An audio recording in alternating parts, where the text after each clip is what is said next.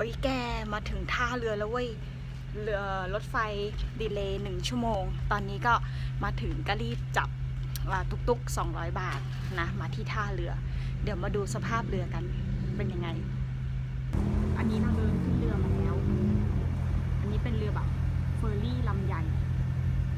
เฮ้ย มีรถน้ำมันฝนคงตกนะ สภาพก็ไม่ค่อยน่า คือภายนอกนะ เดี๋ยวเราเดินเข้าไปข้างในกัน ว่าจะเป็นยังไงมืดตึบมืดตึบอันนี้เราก็ขึ้นมาถึงชั้นสองนี่เป็นห้องนอน